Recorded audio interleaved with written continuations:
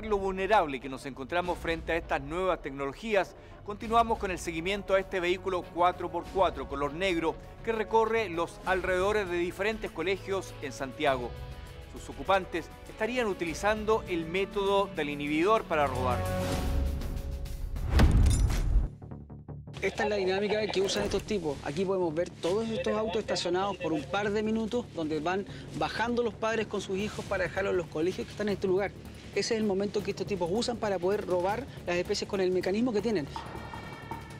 Mira, ahí se están subiendo, no los vemos, estamos tapados con los autos. Se están subiendo la camioneta, la camioneta está moviendo y va a San Pedro Valdivia, atento. Están ahí adelante, sigámoslo. Van llegando a Bilbao. Estamos con una víctima de esta nueva forma de robar especies de los vehículos. ¿Nos puedes relatar un poco cómo fue ese día?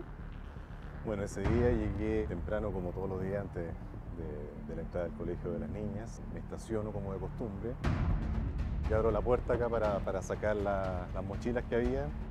Cierro me preocupé del asunto hasta que cuando volví, cuando el auto se cierra, los espejos se juntan Automáticamente. automáticamente. Estaban abiertos, entonces eso me indicaba que el auto estaba abierto. Limpiamente abierto y, y hasta dudé que se me hubiera quedado abierto a mí por, por- por error.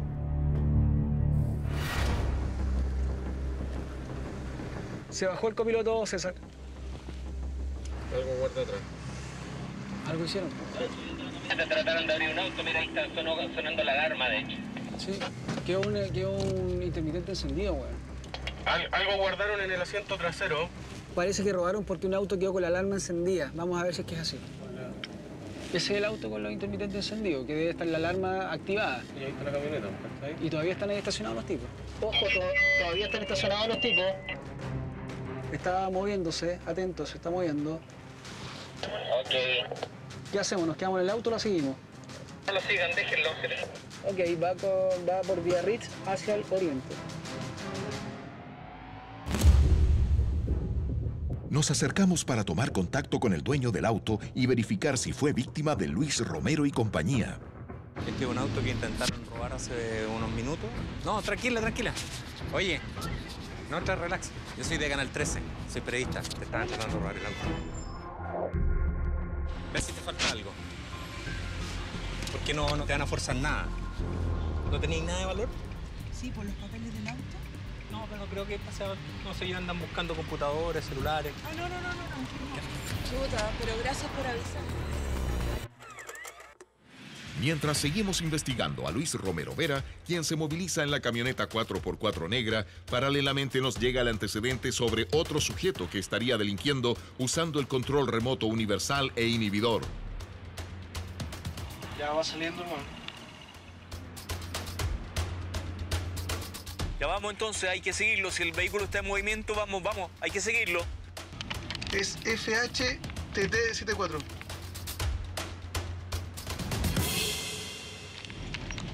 Mira, ahí va. Ahí, a la, ahí. Sí, estoy viendo.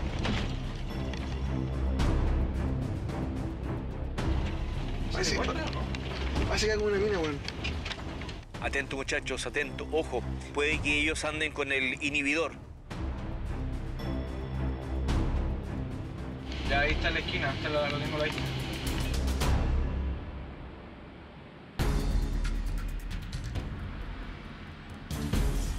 viene el auto, está dando la vuelta.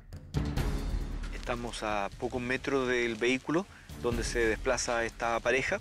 Su actitud es muy sospechosa, hasta el momento no sabemos si llevan un inhibidor de señal o bien un control remoto universal. La actitud del sujeto es extraña. La información decía que se dedicaba al hurto con control universal, pero fija su atención en una camioneta blanca, se baja e inmediatamente abre la maletera de su auto. El sujeto que vemos está identificado como Juan Pablo Vilches Campos, quien mantiene condenas por robo con violencia e intimidación, otra por robo con intimidación y robo con fuerza en lugar no habitado.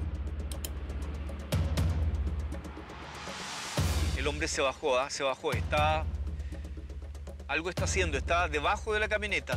Está debajo de la camioneta, parece que está sacando algo. Finalmente descubrimos a lo que se dedica este sujeto. Después de abrir las puertas para ocultarse, intenta robar la rueda de repuesto de esta camioneta, pero al parecer no lo logra. ya lo tenemos muy claro, esta pareja no anda ni con el inhibidor ni con el control remoto. Lo que está haciendo es lisa y llanamente robar neumáticos de repuesto. Se va. Bajó.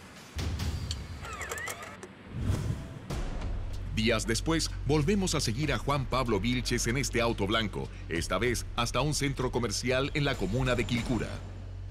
Oye, está robando, está robando la. Está robando la, la, la Mitsubishi. Ahí tiene las puertas abiertas, está tapando. El tipo está atrás sacando la rueda.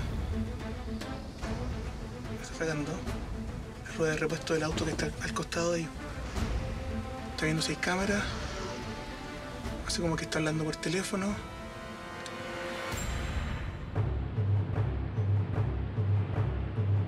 Está cargando.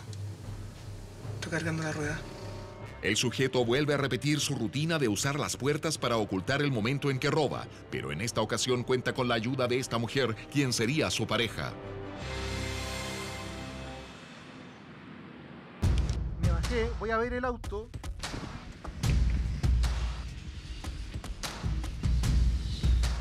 Efectivamente, robaron la rueda. Vamos a seguirlo.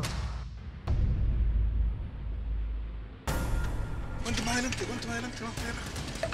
Dale, graba, graba, graba. Está tapado.